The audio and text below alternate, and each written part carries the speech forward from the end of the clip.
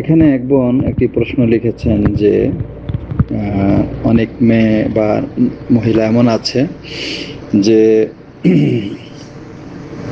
তাদের লজ্জাস্থান দিয়ে বাতাস বের হয়, কখনো শব্দ হয়, কখনো শব্দ হয় না। তো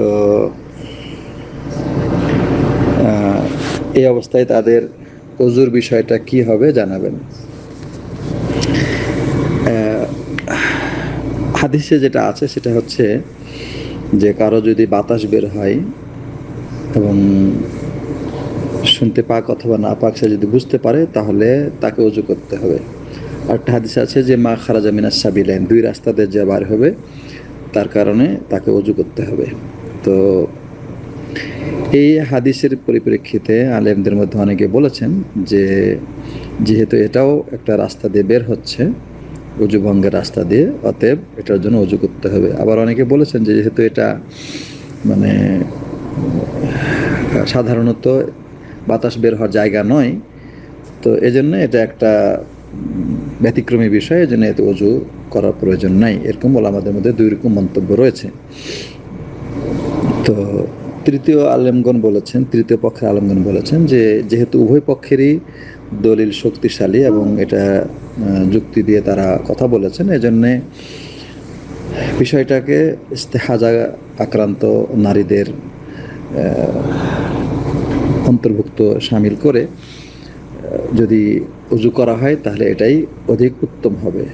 যেহেতু এটা একটা ইবাদতের বিষয় ইবাদতের বিষয় হ্যাঁ তাই ইবাদতের সতর্কতা অবলম্বনটা বেশি জরুরি পবিত্রতার ক্ষেত্রে। এজন্যে যদি অজু করা হয়, তাহলে জিম্মা মুক্ত হওয়া যাবে। তবে কোনো নারীর যদি এরকম অহরহ বাতাস বের হতে থাকে সব সময় হয় যেমন ইস্তেহাজাগ্রস্ত নারীদের, যেমন ব্লাড স্রাব বন্ধ হয় না, বা অথবা বহুমূত্র বা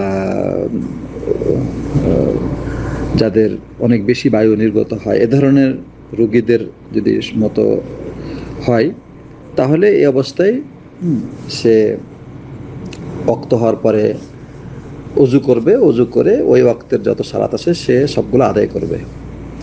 এর ফাঁকে যদি তার ওরকম স্রাব আসে অথবা তার এভাবে বাতাস, লজ্জাস্থান বাতাস বের হয় হ্যাঁ তাহলে এগুলির দিকে ভূক্ষেপ করবে না, নামাজ চালিয়ে যাবে।